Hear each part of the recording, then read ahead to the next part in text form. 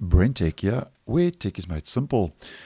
So Microsoft is starting to introduce AI, artificial intelligence, into its different products. The main one here being, as posted, the use of the chatbot ChatGPT in the new Bing search. And then, as recently posted uh, last week, they have introduced the AI-powered Bing to the taskbar search with the Moment 2 update for Windows 11 that rolled out last week.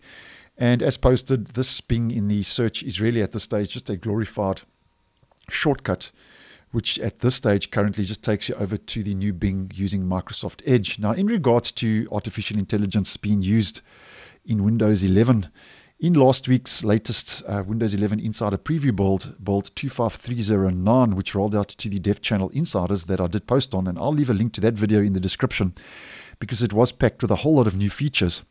And over and above the official features um, that rolled out, once again, there are a couple of references um, to strings and um, code that um, is hidden, which basically means Microsoft could be working on that code and those features internally.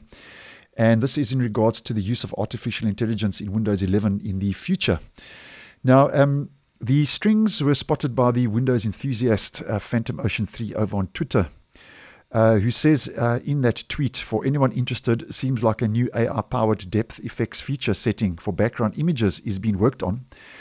And then um, they name the strings. Number one, the first string, depth effects. Number two, when available, use AI to add depth effects to background images and then parallax background. And we'll get to that parallax background in a moment.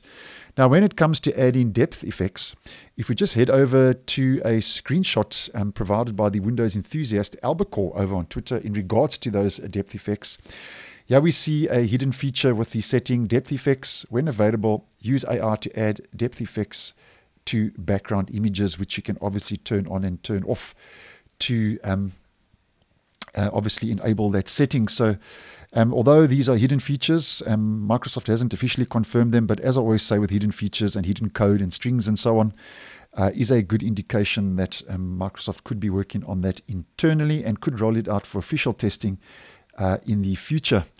Now, um, when it comes to um, parallax, um, Microsoft could be adding parallax effects to desktop images. But at this stage, not much is actually known how this will actually work but um, it will provide depth effects as we can see from that hidden uh, setting uh, in the screenshot. And at this stage, uh, could be basically something very similar to a 3D effect, um, giving you a bit of a depth effect when it comes to um, images and your desktop wallpaper and backgrounds and so on. But with anything like Microsoft, um, only time will tell, and we'll have to wait and see. But just on a side note, this desktop background, this wallpaper that I have on my um, my screen at the moment, was actually um, created using AI, artificial intelligence. And I did post a whole video on that, and I'll leave a link to that uh, in the description. And as you can see with this image, it does give you a kind of depth effect and a 3D effect. So maybe um, what that parallax is all about um, and the description as I've come up with in this video isn't too far off. But obviously, if anything does change with this new setting, the depth effect setting, I will post and let you know accordingly. So thanks for watching, and I will see you in the next one.